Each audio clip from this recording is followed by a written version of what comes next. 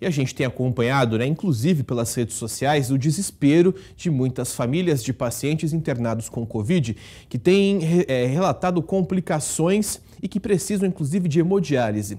E em muitos desses casos, a falta de equipamento piora o quadro clínico. Em Rio Preto, a partir de hoje, é implantado um sistema de hemodiálise. A Joyce Cremonese vai explicar para a gente o que muda a partir de agora, Joyce. Bom dia.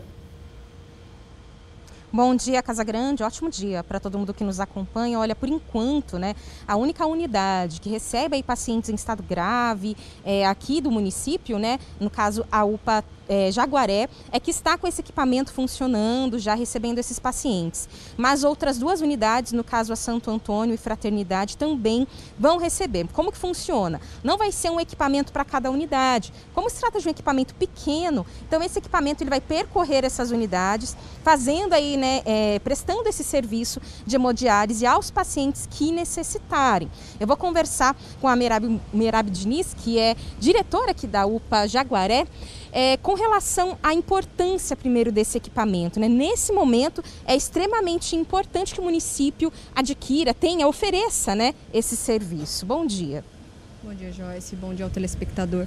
Sim, sem sombra de dúvida, na atual situação que estamos vivendo, nós estamos necessitando de disponibilizar esse serviço aos nossos pacientes, porque acaba que agora a gente está com um paciente mais grave, um paciente com uma evolução mais crônica, e infelizmente nós vemos notando que é, a injúria renal está sendo algo mais comum do que a princípio e acaba que se, se torna algo fundamental ao atendimento desse paciente fornecer a ele esse tratamento para que a gente possa ter aí uma evolução favorável à cura, como também durante todo esse período que ele está aqui conosco, ele tem um tratamento abrangendo todo o seu sistema, né? Porque o Covid ataca os pulmões, mas não são somente lesões pulmonares que infelizmente a gente está enfrentando nessas circunstâncias. Como estava sendo feito, né, é, esse atendimento a esses pacientes que estavam internados e necessitavam da hemodiálise antes da chegada desse equipamento?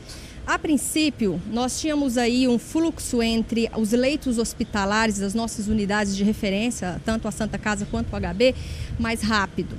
É, acabava que no momento que a gente identificava um paciente que tinha a necessidade de uma diálise, de um acompanhamento com uma equipe de nefro, a gente conseguia dar prioridade a esse paciente e conseguia remover ele rapidamente do nosso serviço para que ele pudesse ter esse atendimento nos hospitais.